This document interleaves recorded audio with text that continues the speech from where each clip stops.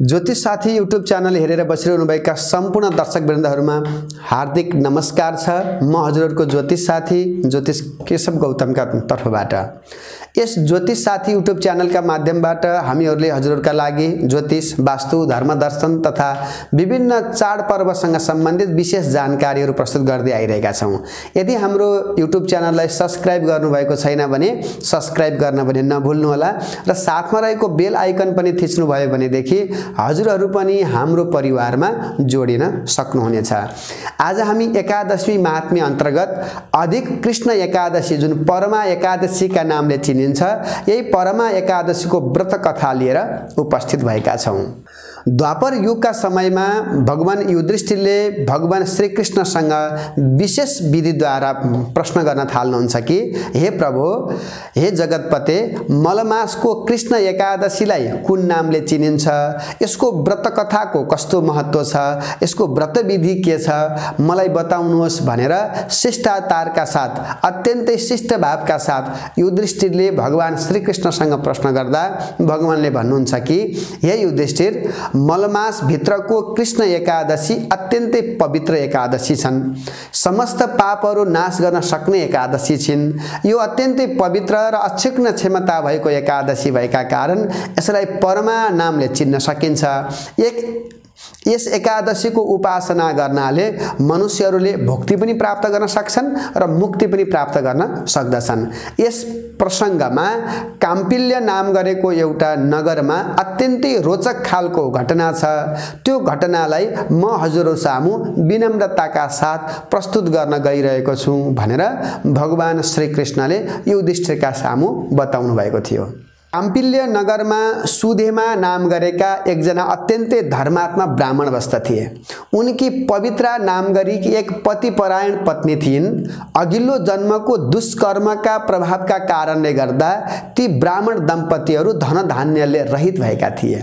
धेरै व्यक्तिसँग माग्दा पनि उनीहरूले अन्न वस्त्र केही पाउँदैनथे केही पाएका थिएनन्। रूप यौवनले परिपूर्ण सुदेमाको उनकी पत्नी सधैँ सेवा गर्ने गर्थिन्। घरमा अतिथिको सेवा गर्नका लागि उनी तत्पर रहने गर्थिन्। यदि घरमा कुनै अभ्यागत पाहुना अथवा अतिथि आए भनेदेखि त्यो अतिथिको सत्कारमा खट्दाखेरि पवित्र भोक भोकै बस्नु पर्थ्यो। तापनि ती विशालाक्षी ती पवित्रा चाहिँ मधुर मुस्कान साथ रहन सक्ने सामर्थ्यता थियो।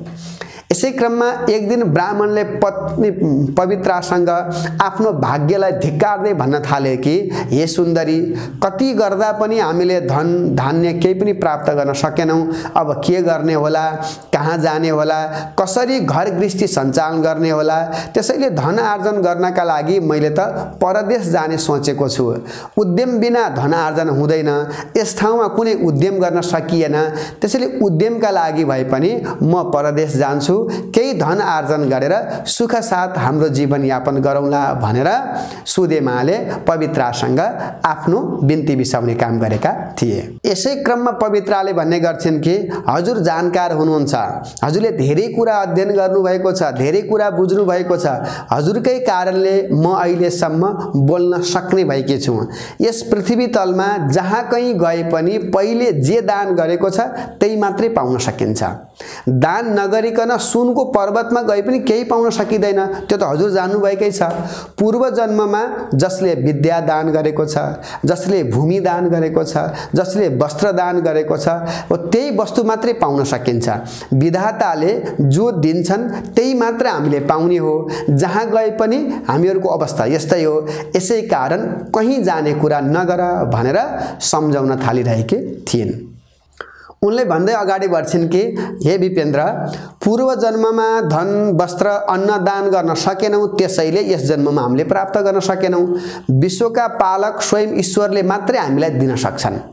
हामीलाई ईश्वरले दिने भए यही पनि दिन सक्छन् अन्यत्र गएर मात्र दिने कुरा होइन। तापनि तपाईँ बिना म बस्न पनि सक्दिनँ आमा बुवा दाजु भाइ सासु ससुरा बन्धु बान्धव टोल छिमेकी कसैका निम्ति पनि पति नभएकी नारीलाई राम्रो दृष्टिले हेर्दै हेरिँदैन।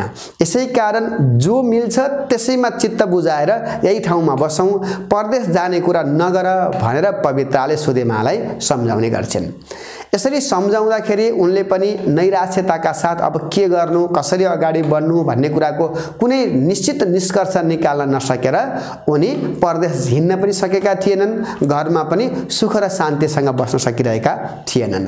यसै क्रममा एक दिन ती ब्राह्मण दम्पतिका घरमा कौडिन्य नाम गरेका एकजना ऋषिको आगमन भयो। ऋषिलाई देखिसकेपछि पवित्र अत्यन्तै हर्षित भएर मेरो जीवन आज बल्ल सफल भयो। ओहो म अत्यन्तै भाग्य मानिरहेछु जसले गर्दा आज हजुरको दर्शन गर्न पाएकी छु। विधिपूर्वक ऋषिको सत्कार गर्दै सुन्दर आसनमा बसाएर अर्घसहित विधिवत रूपमा पवित्राले ऋषिको पूजन गरिन् यथेष्ट भोजन गराइन् र ऋषिका अगाडि एकदमै करबद्ध भएर विभिन्न खालका जिज्ञासाहरू राख्न थालेन्। हे महात्मा पूर्व जन्ममा दान नगरिकन यस जन्ममा हामीले कसरी प्राप्त गर्न सकौँला र धन विद्या असल स्त्री त हामी पूर्व जन्मको कर्मले मात्रै पाउन सक्छौँ। तैपनि मेरा पति मलाई छोडेर आज अर्कै देशमा पराया नगरमा नचिनिने मान्छेसित भिक्षा माग्नका लागि जाने इच्छा गरिरहेका छन्। नदिएको कुनै वस्तु अलिकति पनि केही पनि पाउन सकिँदैन। मेरो श्रीमान भन्दै मैले आफ्नो श्रीमानलाई रोकिरहेकी छु। आज अहो भाग्यले हजुर नै यहाँ आइपुग्नु भयो हजुरको कृपा भयो भने हाम्रो दारिद्रता हजुरले चाँडै नै नष्ट गरिदिन सक्नुहुनेछ। हाम्रो दारिद्रता नष्ट गर्न सक्ने हजुरसँग क्षमता पनि छ। त्यसैले हाम्रो दरिद्रता नष्ट गर्न सक्ने खालका व्रत तीर्थ तपस्या बताइ बक्सियोस् र हामीलाई पुण्य मार्गमा लगाइ बक्सियोस् भनेर पवित्राले ऋषि कौडिन्यसँग बिन्ती बिसाइसकेपछि ऋषि कौडिन्यले भन्नुहुन्छ कि पापको समूहलाई नाश गर्न सक्ने भएको सबै प्रकारका दुःख र दरिद्रहरूलाई नाश गर्ने मलमासको कृष्ण पक्षको एकादशी जसलाई परमा नामले चिनिन्छ यस एकादशीको विधिपूर्वक व्रत उपासना गर्यौ भनेदेखि यस लोकमा मात्रै होइन परलोकमा पनि सुख भोग गर्न पाउनेछौ। यस एकादशीको व्रत सबैभन्दा पहिला कुबेरले गरेका थिए। कुबेरले यसै व्रतका प्रभावका कारणले भगवान् शिवले नै कुबेरलाई धनका मालिक बनाइदिएका हुन्। अहिलेसम्म सबैभन्दा धनी र सम्पन्नशाली भनेर हामी कुबेरलाई चिन्दै आइरहेका छौँ। यही परमा एकादशीको तपका कारण परमा एकादशीको उपासनाको कारण र भक्तिभावका कारण कुबेर सबैभन्दा धनी व्यक्ति कहलिएका हुन्। यसै क्रममा राजा हरिश्चन्द्रले पनि यसको व्रत गरेका थिए। यसै व्रतका प्रभावका कारणले गर्दा राजा हरिश्चन्द्र धनका मालिक पनि भए अनि यही व्रतका कारणले गर्दा शत्रुरहित राज्यको राजा भएर एकदम सुशासित राज्यका राजाका रूपमा स्थापित हुन पाए भने यही परमा एकादशीको व्रतका कारणले उपासनाका कारणले गर्दा पतिपरायण सुन्दरी स्त्रीको पति भएर उनले आफ्नो जीविका धान्न सकेका थिए। यसै कारण हे विशालाक्षी यो व्रत अत्यन्तै मङ्गलकारी व्रत छ। तिमी दम्पतिहरूले विधिवत रूपमा रात्रिमा जागरणसहित एकादशीको व्रत उपासना गर। तिम्रा निश्चय पनि दुःख कष्टहरू नाश हुनेछन्। तिम्रो जीवन सफल रहनेछ भनेर ऋषि कौडिन्यले परमा एकादशीको व्रत महिमाका बारेमा पवित्रालाई बताएकी थिइन्। यसै क्रममा ऋषि कौडिन्यले कल्याणकारी पञ्चरात्रि व्रतका बारेमा पनि बताएका थिए। परमा एकादशीका दिन प्रातकालमा विधिपूर्वक व्रत आरम्भ गरी त्यसपछिका पञ्चरात्रिमा व्रत गर्नु जसले मृत्युपछि पनि माता पिता प्रियका साथमा विष्णुलोक प्राप्त गर्न सक्दछ। त्यसैले परमा एकादशीदेखि पछाडिका पाँचवटा रात्रिहरू पञ्चरात्रिका रूपमा चिनिन्छन्। अत्यन्तै पुण्यकारक रात्रि छन्। पाँच दिनसम्म तिनी निराहार व्रत बस्न सक्छौ भनेर ऋषि कौडेरले बताए। जुन व्यक्तिले यी पाँच रात्रिहरूमा एक छाक मात्रै अथवा यी पाँच दिनमा एक छाक मात्रै भविष्यान्न भोजन गरेर व्रत गर्दछ त्यसका सबै पापहरू नाश हुनेछन् यसमा कुनै सन्देह छैन। यसै क्रममा ऋषिले भन्छन् कि जुन जनाले यो पाँच दिनसम्म प्रातकालमा स्नान गरेर नित्य नियमित पाँच दिनसम्म फरक फरक ब्राह्मणलाई ब्राह्मण भोजन गराउँछ उसले सबै खालका पुण्यहरू प्राप्त गर्न सक्दछ। त्यो पुण्यकारक व्यक्तिका रूपमा स्थापित हुनेछ। यसै क्रममा ऋषिले अगाडि भन्छन् कि जो जनाले यी पाँच दिनसम्म स्वच्छ शुद्ध जल पूर्ण घडा दान गर्दछ उसले चराचर जगतमा रहेका सबै वस्तुहरू दान गरेको फल प्राप्त गर्न सक्दछ। त्यसैले यो परमा एकादशी मात्रै होइन परमा एकादशीदेखि पछाडिका पाँच दिनहरू यति महत्त्वपूर्ण छन् भनेर उनले चर्चा गरेका थिए। यसै क्रममा उनले अगाडि भन्छन् कि जो जना यी पाँच दिनमा अटल ब्रह्मचर्यमा रहन्छ। उसले स्वर्ग लोकमा पनि सबै प्रकारका भोग विलासहरू गर्न पाउँछ आनन्दसँग जीवन जिउन पाउँछ भनेर ऋषि कौडिन्यले बताए। ऋषि कौडिन्यले बताए बमोजिम ती ब्राह्मण दम्पतिहरूले विधिपूर्वक अधिक मासभर श्रद्धा भक्तिका साथ रहे र परमा एकादशीको विधिपूर्वक अहोरात्र व्रत पुरा गरे र परमा एकादशीदेखि पछाडिका पाँच रात्रिसम्म पनि उनीहरूले विधिवत रूपमा व्रत बसेका थिए।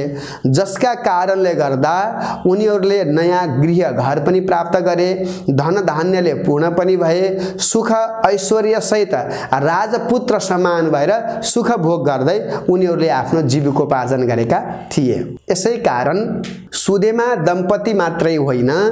स्वयं कुबेर पनि यस व्रतको प्रभावका कारणले सबैभन्दा धनी व्यक्ति कहलिए। राजा सत्य हरिश्चन्द्र पनि यसै व्रतका कारणले गर्दा पुण्य लोक प्राप्त गर्न सके सुखी रहन सके र उच्च कोटिको राज्य प्राप्त गर्न सकेका थिए। त्यसै कारण अधिक मासभित्रको कृष्ण पक्षको एकादशी तिथि जसलाई हामी परमा एकादशी भन्छौँ।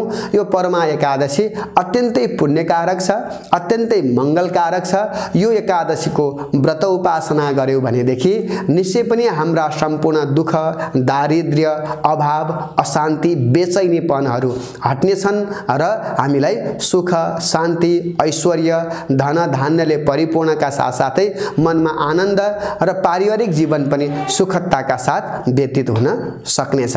त्यसैले परमा एकादशीको विधिवत रूपमा व्रत उपासना गरौँ। यस जीवन मात्रै होइन परलोकको जीवन पनि सुख आनन्दका साथ व्यतीत गर्न सकौँ। हजुरलाई आजको सामग्री कस्तो लाग्यो?